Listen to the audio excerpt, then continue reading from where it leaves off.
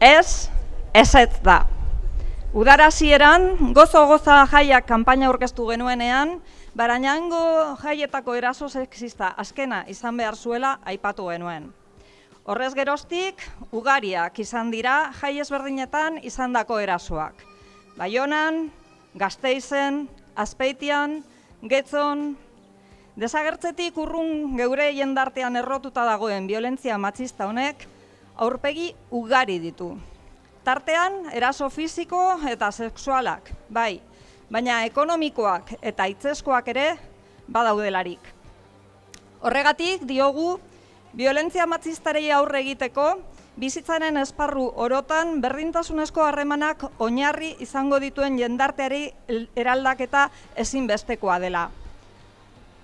Eta zentzu honetan diogu, violentzia ez litzatekela gauzatu ahalko, baldin eta onartzen eta posible egiten duen jendarteratzen mekanismoak egongo ez balira. Hainbatetan, violentzia konstiente edo inkonstienteki arrazoitutzat, beharrezkotzat edo saiestezinekotzat jotzen baita. Eta honela, erlioak, hizkuntzak, komunikabideak, familiak eta hezkuntzak violentzia egonkortu dadin jendarteratzen mekanismoen eragile biakatzen dira. Horregatik, emakumeok violentzia matzistarik gabeko bizitza libreak utzi izateko, burutu beharreko lan eta estrategiek ondorengo urratzetan behar dute izan oinarri. Violentzia matzistari aurre egiteko garaian, emakume eta gizonen arteko bazterkeria estrukturalaren kontrako lanketa hartu oinarri. Violentzia modu haunitz eta ugariak biztaratu. Violentzia horiek gauzatzen diren espazio ugariak agerian ustearekin batera. Baztertzaileak diren adierazpen eta gauzapen kulturalei aurregin eta violentzia matxistaren eragitetzat jo. Alakotzat, hartuak ez, baina badiren fenomeno soziokultural eta simbolikoak. Hauen bitartez, ematen baita gehienetan violentzia matxistaren legitimazioa. Agerian utzi, prebentzio lana egin eta emango bada aurre egin beste violentzia matxista moduei, transfobia, lesbofobia edo homofobiaren modukoei.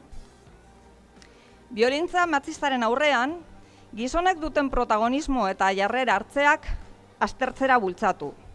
Erasoa zer den eta zer ez den identifikatzeko dituzten arazoak, emakumezkoekin eraikitzen dituzten harremanak, balizko jardun bidie matxisten aurreko beraien jarrera, edo eraso matxista baten aurrean arlezaketen jarrera pasiboa erasoa babestu ezarren, prebentzioa ezinbesteko elementutzat hartu, berdintasuna oinarria izango duten harremanak sortu eta eraikitzeko garaian hezkuntza formal eta ez formalean eragin eran, e, beharko dugularik. Honengatik, guztiagatik, honako konpromiso hartzen du bere eguneroko jardun politiko, sozial eta instituzionalean EH Bilduk. Berdintasun esparreko politikekiko konpromisua mantendu eta egonkortu. Berdintasun politika garatzeko behar diren baliabide ekonomiko eta humanoaz indartuz. Ekintza eta jarrera matzisten aurrera, prebentzio eta salaketarako eragile aktiboa izan. Abian jarri, edatu edo indartu emakumeen parte hartze ekitatiboa albideratzen dituzten jai edo jardun simbolikoak, bai eta gainerako espazio soziokulturalak ere. Emakumeen enpoderamendua bultzatzen duten gune komunak sortu edota indartu, behar adina baliabiderekin eta zare sozialak sustatuz. Enpoderamendu eskolak edo emakumeen etzen modukoak. Ez, ez ez da, eta indarkeriari gabeko jaiguneak eta bizitzak nahi ditugu.